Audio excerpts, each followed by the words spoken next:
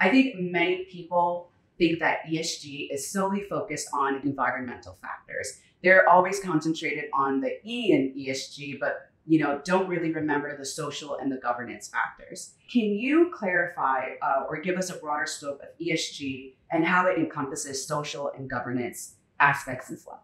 Sure, I think you're right. People think about the E, they immediately go to climate. And I think part of that is because there's been a lot of publicity around the SEC proposed climate rules. And also, I think people feel that there's a sense of urgency around climate, right, in terms of climate reporting and starting to build that out. It's a long lead time and it's something that's important to a lot of different companies and stakeholders. But ESG is much broader than just climate. And so when you think about the S, you mentioned kind of human capital. I think that human capital is a core ESG issue that a lot of companies forget about. During COVID, it became a primary ESG issue, right? That all companies were focused on. Are they training and reskilling their employees? Are they figuring out how to keep them safe?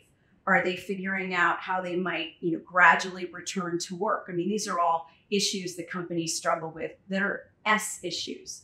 Other S issues might be cybersecurity, data privacy, right? How are you protecting your customers' information? What's their expectation of you?